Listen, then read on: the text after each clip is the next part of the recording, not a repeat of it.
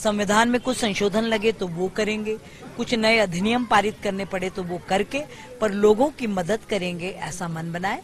पेयजल को लेके थोड़ा सा, क्योंकि चोरल नदी को पुनर्जीवित करना और साढ़े सात नदियों में नर्मदा जी का लल, जल लाकर मिलाना, ये यहाँ की दो मुख्य चुनौतियाँ हैं।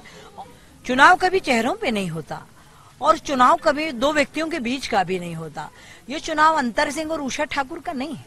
ये चुनाव दो विचारधाराओं का है। एक वो विचारधारा है जो वैभवशाली राष्ट्र, जगत गुरु भारत का निर्माण चाहती है। एक वो विचारधारा है जिसने आज़ादी के 60 वर्ष सिर्फ़ स्वयं को मज़बूत बनाने में गंवाए हैं।